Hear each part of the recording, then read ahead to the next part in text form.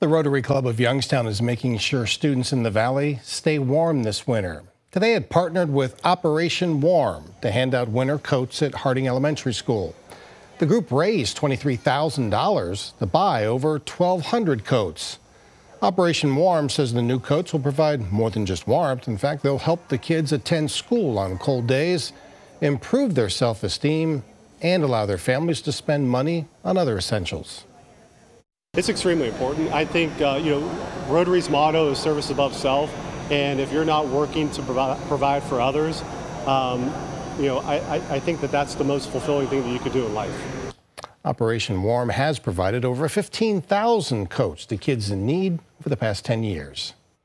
Hi everyone, I'm Lindsay Watson. Thanks for watching the WKBN 27 First News YouTube channel. If you want more video news, subscribe to our channel and don't forget to download the WKBN 27 First News app for breaking news alerts.